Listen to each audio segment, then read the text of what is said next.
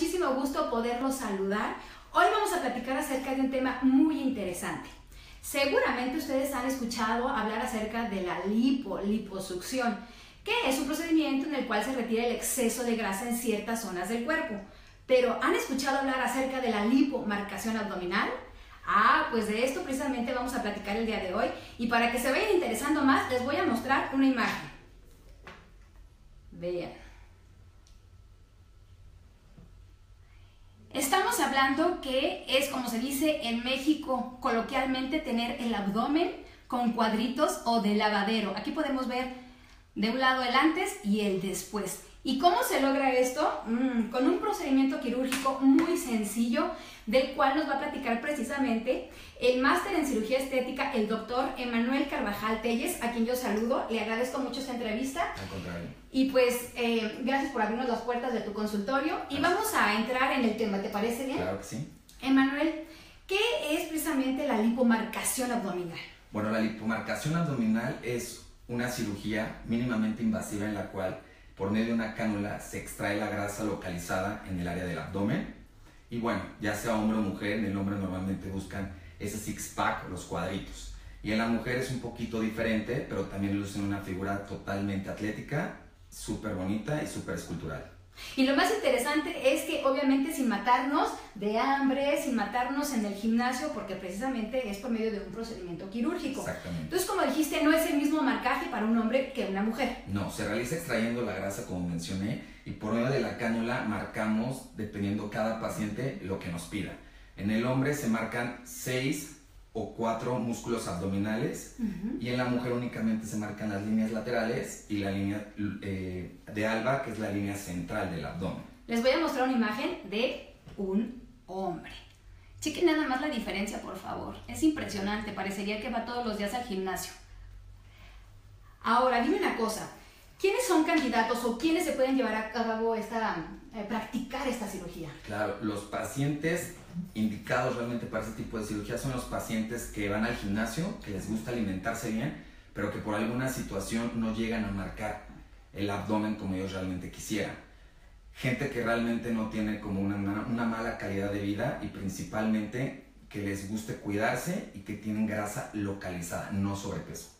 Ah, ok, porque para la gente que tiene sobrepeso primero tienen que reducir un poquito y después ya podrían entonces ser candidatos. Claro, para darles este, resultados mejores y más satisfactorios. Ahora, ¿qué tan complicada es eh, toda esta, eh, bueno, todo este proceso? La cirugía, por ejemplo, requiere de una anestesia local, general, es ambulatoria. Se combinan. Primero infiltramos lo que viene siendo una anestesia local para que el paciente se pueda ir a, casa inmediatamente terminando la cirugía sin ningún tipo de dolor y al mismo tiempo, bueno, platicando con la paciente lo que sea más adecuado se puede hacer por medio de un bloqueo o anestesia general. O sea que esto quiere decir que prácticamente la gente puede recuperar su vida pues normal a los pocos días. Exactamente, es una cirugía ambulatoria en la cual terminando el proceso como lo, lo manejé anteriormente, se van a casa y se pueden reincorporar a sus actividades normales. ¿Y cuáles son los cuidados que se deben tener o que debemos hacer? Una, para llevar a cabo una recuperación excelente y dos, para mantener también el efecto pues, de esta cirugía. Ok, primero que nada venir a sus citas postquirúrgicas, hacerse unos drenajes linfáticos que son unos tratamientos específicos para drenar todo el líquido que queda y evitar complicaciones como el seroma. Y bueno, posteriormente, valorándola, después de dos o tres semanas se deja una faja especial que inclusive trae algo para seguir marcando el abdomen. Dieta y ejercicio son fundamentales para los resultados permanentes.